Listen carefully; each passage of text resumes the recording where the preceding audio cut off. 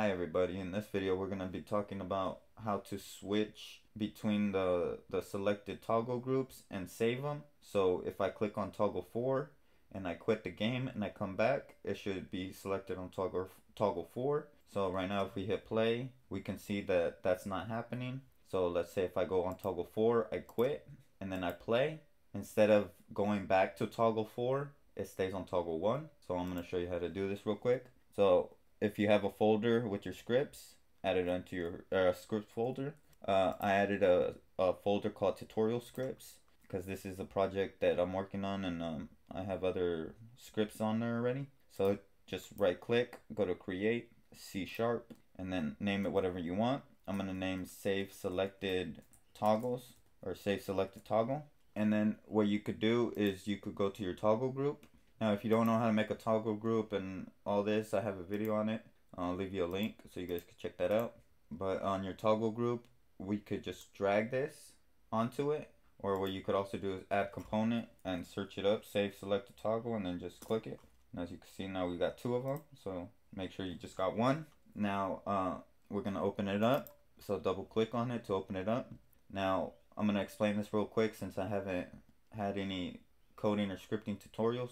So using is just a library of code. So using Unity Engine, this Unity Engine has certain library full of code. So if you don't have this, some of the code won't work. So like, let's say I erase this. And now as you can see, this mono behavior turned white and it got a little red error line below it, meaning that it needs, as you can see right here, it says the type of namespace cannot be found. So the library that um, this code is looking for cannot be found. So we'll just put back using Unity Engine. Now as you can see, it is found. Now public class, this is the class you created, the script that you created, and it is being inherited by mono behavior. So this little colon uh, thing means inherited. And then after that, we would put uh, little curly braces. And then after that, there's this void start. Now start is called before the first frame update. So before this is uh, called, uh, the start method is called. Now there's also other functions like uh, void awake and these are all built-in uh, functions or methods that Unity provides for us.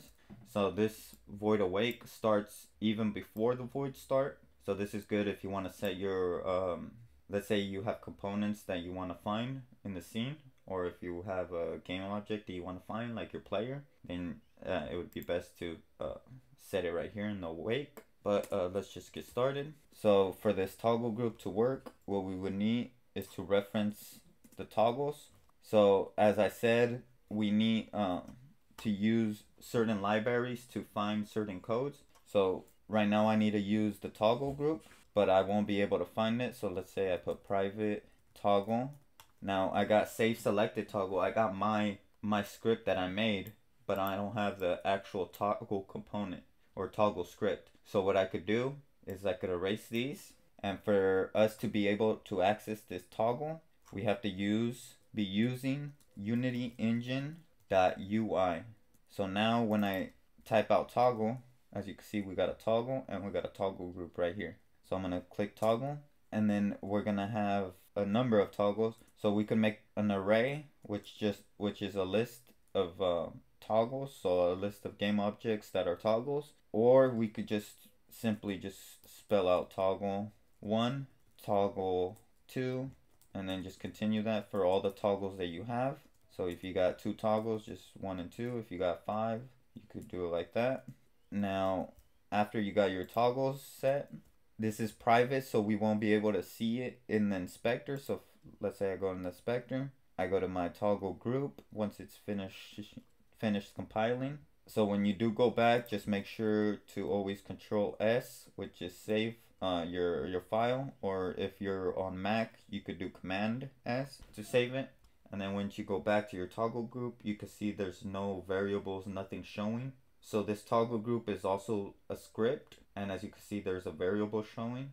And here you don't see any variables. So let me show you on the toggle group how this is a script. If you go to these little three points, you click edit script. As you can see, this is the code for the toggle group. And as you can see, you could study this, you could learn from this. Um, later on, I'll show you how to break down these codes so you guys could kind of understand what all these mean, what the summary means, what these lines mean, uh, these comment lines, all this stuff. I'll show you how to do it. But just to show you um, how we can see, where is it at? We can see allow switch off.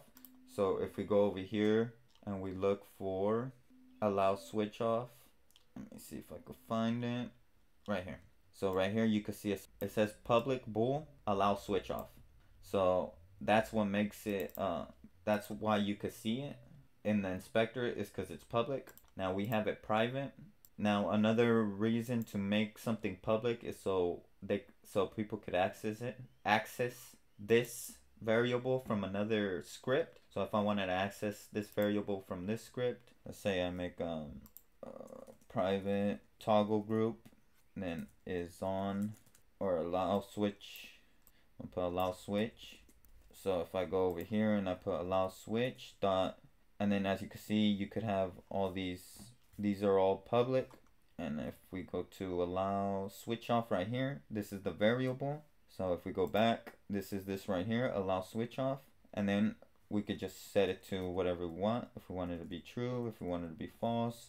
And that's why that's set to public. So if you don't want other scripts to access these toggles, set it to private. And if you want it to be seen in the inspector, all you got to do is put these uh, uh, brackets and then just put serialized field. So all you do is put serialized field, private toggle, and then when we save it, go back to the inspector, we should see all four of them. So wait until it saves, and as you can see, we can see all four of them shown in the inspector. So I'll just drag each one. So toggle, toggle one, toggle two, toggle, and toggle three.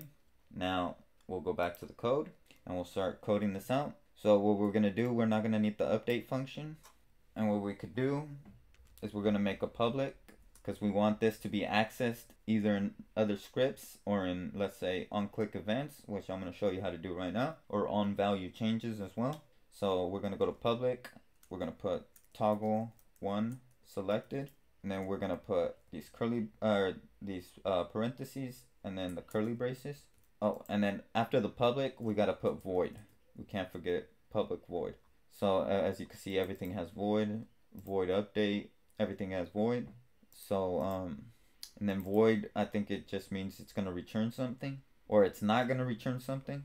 So what we're going to do is we're going to put player prefs which this is the function to uh, save things or the class. And then we're going to access the function uh, get int or set int. We're going to set this and we're going to give it a value or a string. It says right here a string so a string always has to have these parentheses and then the name of the value or the key. So we're gonna put toggle selected is gonna be the name of the key. Now this you can name it anything you want and then we're gonna put zero as the value.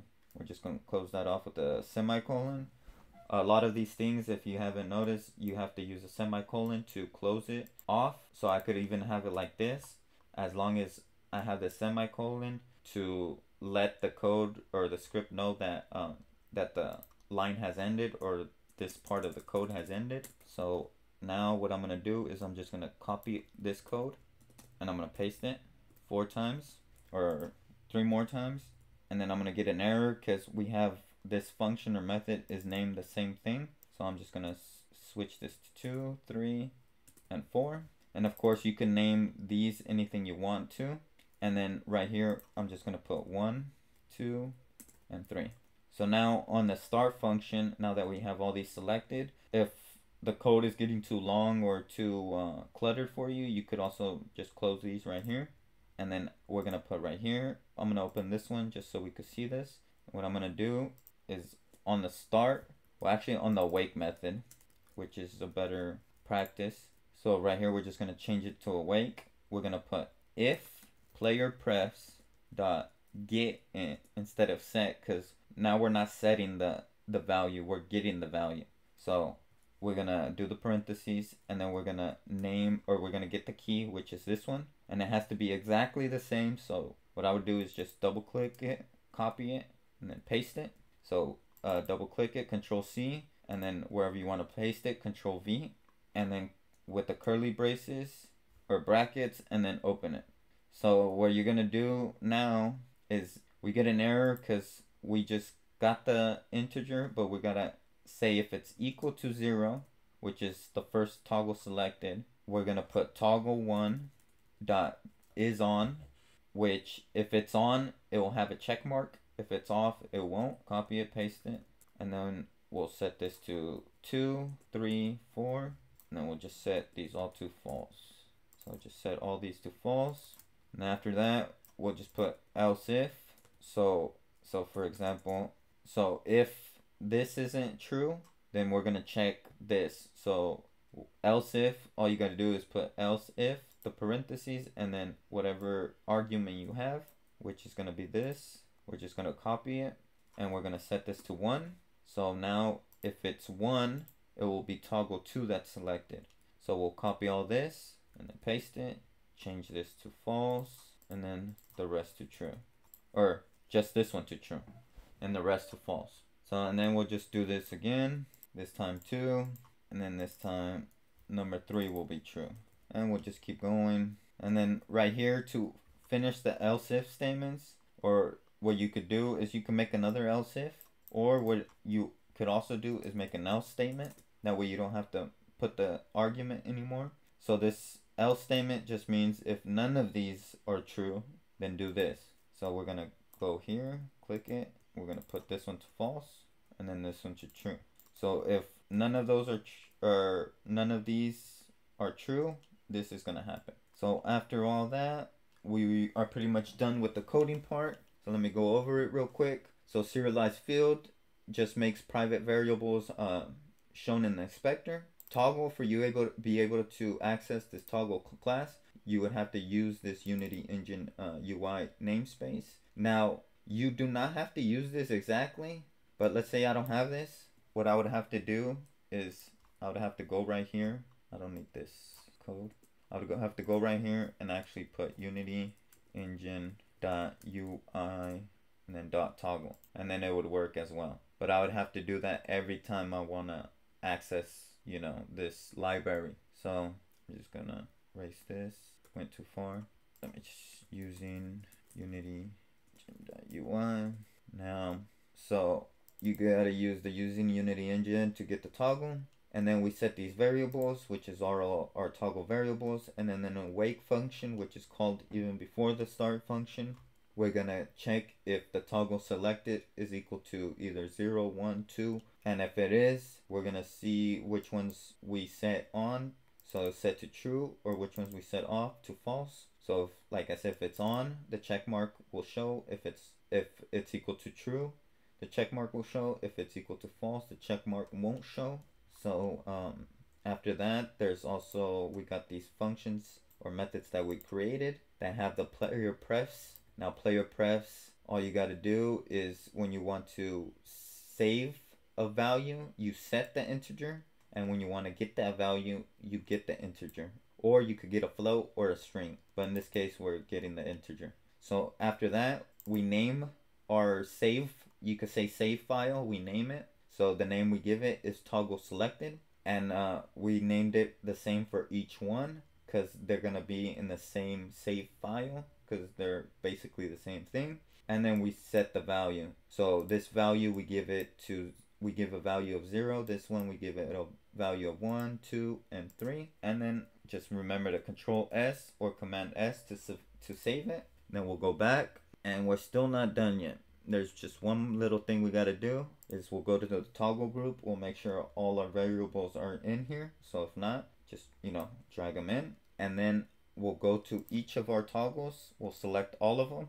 Go down here to the on value changed so usually on value change will look like this. There'll be an empty list. So you'll just hit the plus button and right here you drag in your script or your code that um, so you drag in the game object that the code is uh, sitting on or the script is sitting on. So we have our code right here and we want to access this code or script. So we'll drag in this toggle group right here. Right here on the no function, we'll go down here and we'll go to our code. So these are uh, this is like the code for the game object if you wanted to turn on or off the game object if you wanted to you know have uh, a string tag if you wanted to send a message. This is for the transform. Uh, if you wanted to look at if this is toggle group, if you want to switch something from the toggle group.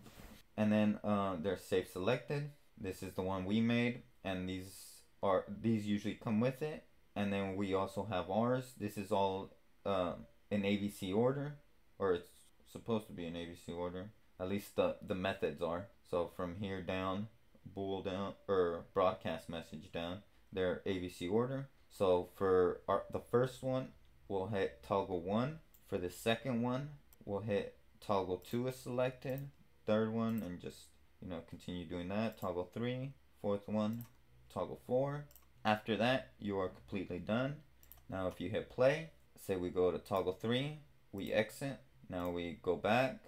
Toggle three is still clicked. So let's say we go to toggle two, go back. I'm gonna move my mouse way over here, and toggle two is selected. So just to show you guys, if this script wasn't here, if I remove it, and I go to toggle three, I close it, and go back, toggle three won't get selected again.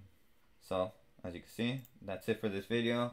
If you guys enjoyed this video, hit the like button. If you guys want to see more videos like this, hit that like button, hit that subscribe button. If you guys need help with it, let me know. This was actually um, asked by a viewer. He didn't really ask me to make a video, but um, I wanted to make a video for anybody that didn't know how to do this. So uh, just leave a comment if you guys want to see a special video or certain video. Just let me know. Once again, thank you.